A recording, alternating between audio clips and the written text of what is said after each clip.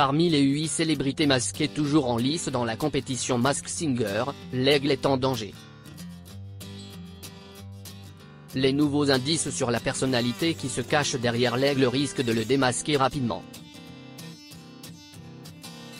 Les internautes l'auront déjà découvert.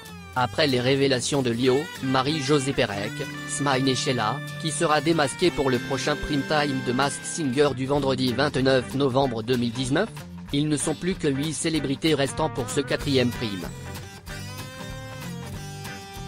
Malgré la déception de plusieurs téléspectateurs lors de la première partie du casting du programme, les réseaux sociaux continuent toujours de vibrer. Point pour le pronostic, Coe pense que c'est la guitariste Joyce Jonathan qui porte le masque de l'abeille, certains sont convaincus que la licorne serait Laurence Boccolini. D'autres croient que c'est Franck Leboeuf qui se cache derrière le masque du pan et que c'est Natacha qui incarne le cupcake. Mais qui se cache donc derrière l'aigle Pour ce prime time du vendredi 29 novembre 2019, la première chaîne donne encore plus d'indices à travers son site officiel concernant la célébrité qui se cache derrière l'aigle.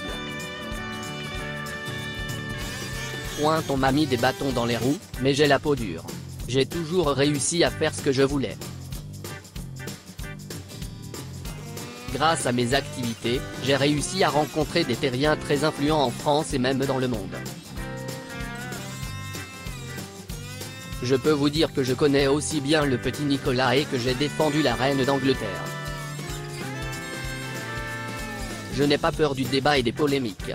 Ça ne me gêne pas du tout que des gens ne peuvent pas m'encadrer. Vous savez ce qu'on dit, on ne peut pas plaire à tout le monde. Au quotidien, je ne me laisse jamais abattre. A déclaré la personnalité cachée sous l'aigle. Ces révélations pourraient le mettre en danger puisque plusieurs internautes prétendent l'avoir reconnu.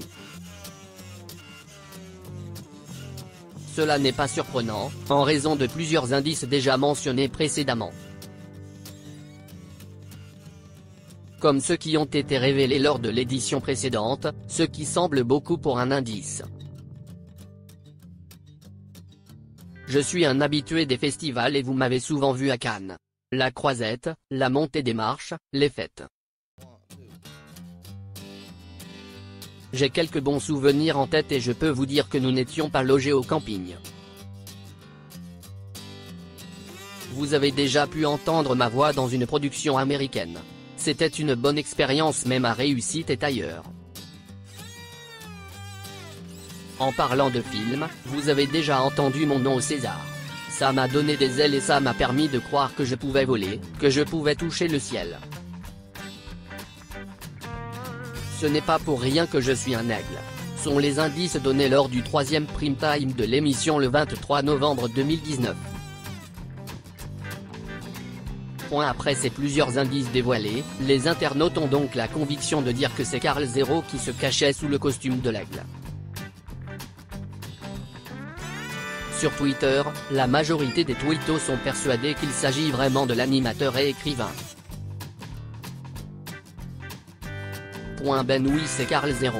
Encore un que les moins de 30 ans ne peuvent pas connaître, quand il chantait il avait un peu la même voix que Carl Zero ou Richard Gottener, la voix un peu cassée, Carl Zero il a un festival à Porto Vecchio, animateur du vrai journal et le petit Nicolas c'est peut-être Sarkozy? Sont les extraits de commentaires qu'on peut lire sur Twitter. Faisons un petit rappel sur le mauvais souvenir de la célébrité cachée sous le masque de l'aigle.